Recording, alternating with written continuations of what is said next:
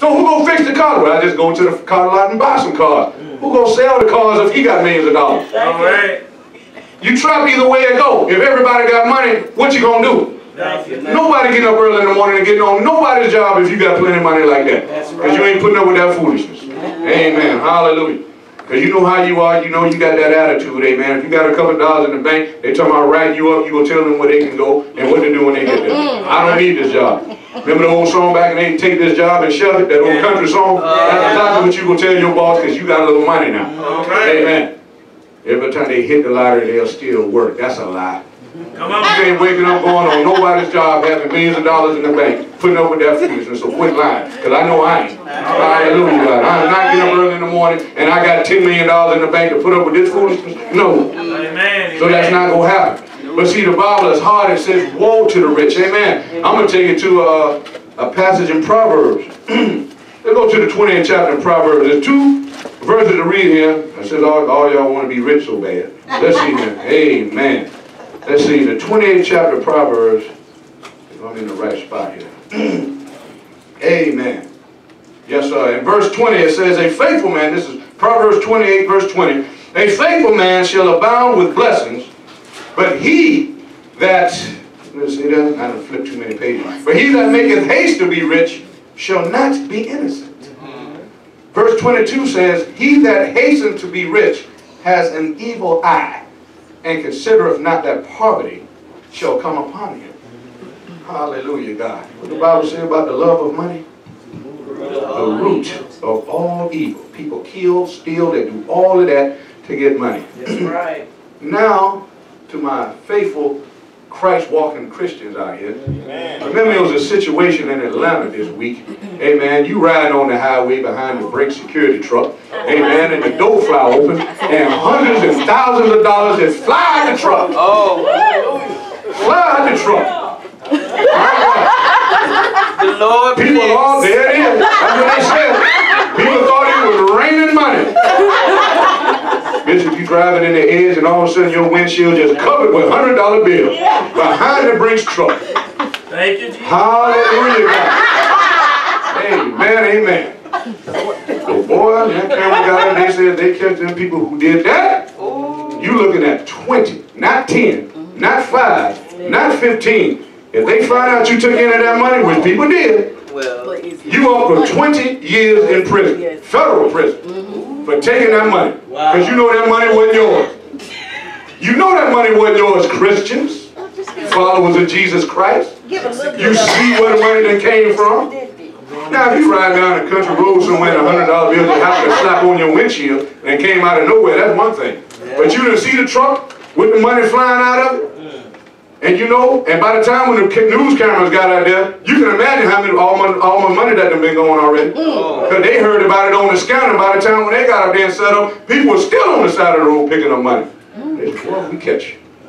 We gonna run that license plate when they see John Willie Robinson Jr. on there, and they done see you they picking up all that money. I'm gonna be in They, they, they, they, you going? You going across the border?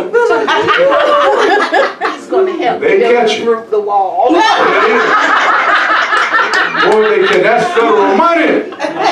You know good well you ain't supposed to be messing with that money. That's right. Get that back. Look at all these people now that got hundreds of thousands of dollars. They say it was over two hundred some thousand dollars in that truck, and the truck only recovered two hundred dollars. Hmm. Two You can imagine how much money all of them people got on the side of the road. oh no, Right there. Four thousand was turned in. People got as much money, it just came open, money just flew out. Uh-uh. Uh-uh. Now imagine No, that. no, no. That Now was somebody right now, and probably done, if they did the right thing, they might have got themselves all out of debt and all of that type of foolish, all that type of stuff with ill-gotten money. But now with all that money, but how many people that, that use that money like to drink and do drugs and whatnot got that type of money? Now, you go buy a little bit more extra alcohol now and don't know that your liver about to go, so now it ain't gonna be no better now, because now you're gonna add all that alcohol on top of a bad liver. Amen. Now you're possibly about to get liver cancer. Wasn't even thinking about getting no alcohol that day because you ain't had no money until that truck went, uh, door flew over. Now you're a drug addict, you might do a little something extra. Might mess around and overdose. You done bought all that dope now. With all that money. And now what? Now possibly could drug overdose with all that money you got because it wasn't yours in the first place. Uh, Sometimes you gotta think about that stuff, saints. of God. Thank, thank, amen, amen. That money was not yours. That money is not theirs. That's stolen money, and yet we teach our kids not to steal. Amen. Rob Amen. We teach our kids, and what we always say we hate, we hate a thief and a liar. Yeah. But yet you taking that money because it flew out of the truck. What'd that make you? Thief. What'd that make you? That don't make you blessed. That don't make you debt free. Real. Come on, come on, you right. You gonna sit up here and holler, thank you, Jesus, for this money right here? Give it back, give it back. And you see where the money that came from and you know where it came from. Amen. All right now. Say it, preacher. Don't have God to test you when you fail the test because of money. Some of you love money more than Jesus. Don't That's right now. Yes, What is it gonna be? yes. Christians? Help Come us. on, come on. Followers of Jesus Help Christ? us, God. And yet you up there telling people that stealing is wrong? Mm. All right, saying, you know, I had to bring that up. Amen. I had to bring that up. But yet we teach our children not to steal. Something to think about. Amen. Why do we put money before Jesus? Amen. Why do we do that? Remember the thing like I said, for five thousand dollars, for a million dollars, would you slap your pastor doing service? All the people say they'll spit them backwards. Whoa. Just for money? Just for money? Just for money. See, people put questions out there just to see what you go do. For such and such. Some of you talking about for a million dollars, would you slap your brother? Yes, I'll slap him and we both go spend the money. Okay. All of this type of stuff. Slap the fire out of him, then we can spend it together. All kind of stuff, but when they said that to slap the man or woman of God for a few million dollars, my God. When the Bible just says, touch not my anointed, and so you gonna let some money get you in trouble like that. Mm-hmm. Help us, Lord. And to mess around and to get in some type of car accident and your arm got to be amputated. You know that's just what happened to a football player in Miami? Yeah. The Miami Dolphins just had a young football player that got in a car crash and his arm had to be amputated. Wow. It was all over Sports Center and stuff. Just starting his career, rookie. And now he has no arm now.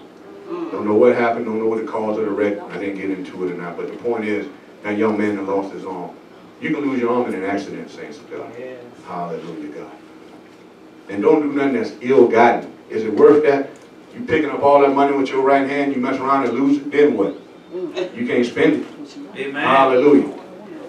Is it worth getting in a crash and being paralyzed from the chest or the waist down? Is it worth it? Now you're rich with all that money and can't get up and walk. Is it worth it? Is it worth it? What did the word say about a man? Is it worth it that can gain the whole world? But loses? And loses. to lose his soul. Is it worth going to hell over money? Come on. All because money flying in the back of a truck. Is it worth it? To lose your soul. That's right. And I guarantee you probably none of them gonna donate a dime to the house of the Lord. Stolen money. Put it in the offering plate. Ain't gonna do that. I can deal with any type of money you wanna give, but not stolen money. All of that type of food. But I just had to put that out there. To see what we were at. you, Lord. Thank you. and whatnot, because I'm Thank you for getting ready to close, because I wanted to talk about my straight and narrow Christians out here that stay on the straight and narrow path, because I know we ain't gonna do nothing like that, because we don't teach that up here in Restoration. Amen, elder. Hallelujah, God. We don't watch people money fall out the back pocket and then step on it and let them walk away. We don't do that. Yeah, hallelujah, God. Lord bless. We don't pay for nothing with five dollars and get twenty dollars back and change and keep it. We don't do that up in here. That's right. Hallelujah, God. There's an honesty of it. No, you gave me too much money. That's what we do up in here. That's how we get taught in this place. Hallelujah, God. They knew it. Because the enemy will tempt you with stuff like that. Yes. You know you done paid five dollars for something that gave you fifteen, eighteen dollars back and change. That's right. Ooh, I just got blessed. Okay. now that person that came up short and get fired. That's right. Lost it. Because you done got the wrong boss on the job that don't play that. You done came up 18 or 20 dollars short on the register. Now that young lady, young man that got fired. Mm. All because you don't want to give it back. Because you gonna put that in your gas tank and fill it up. I try to fill it up, whatever the case. Saints, we gonna get tested and tried all kinds of different ways. You better say And it. Say it. especially with money, with finance. That, that's it. Because see, our flesh wants it so bad. Yes, it does.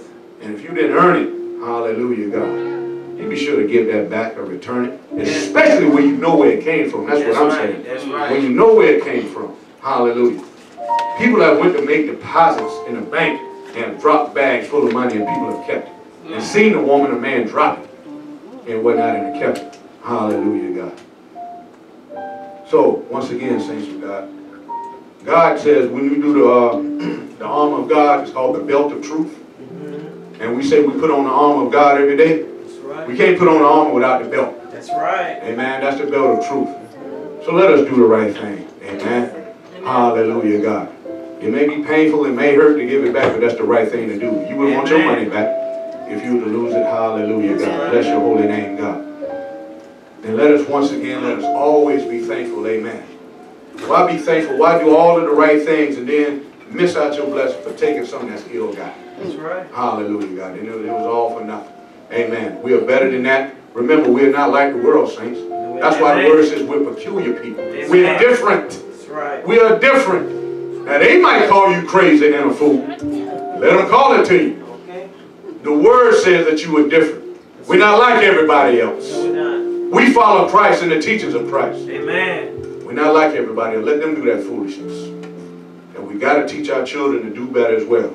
Hallelujah. They see somebody drop some money on the ground, we got to tell them that they dropped something. Don't pick it up and put it in your pocket right quick. Hmm. That the person don't know about it. Hallelujah, God. Monitor your children, amen. Hallelujah, God. Monitor that because kids don't have no business. Third and fourth graders walking around with 20 and 40 dollars in their pocket. Knowing that you Amen. ain't gave it to them. You know they done got it from somewhere. Hallelujah, God. So let us teach our children to do the right thing.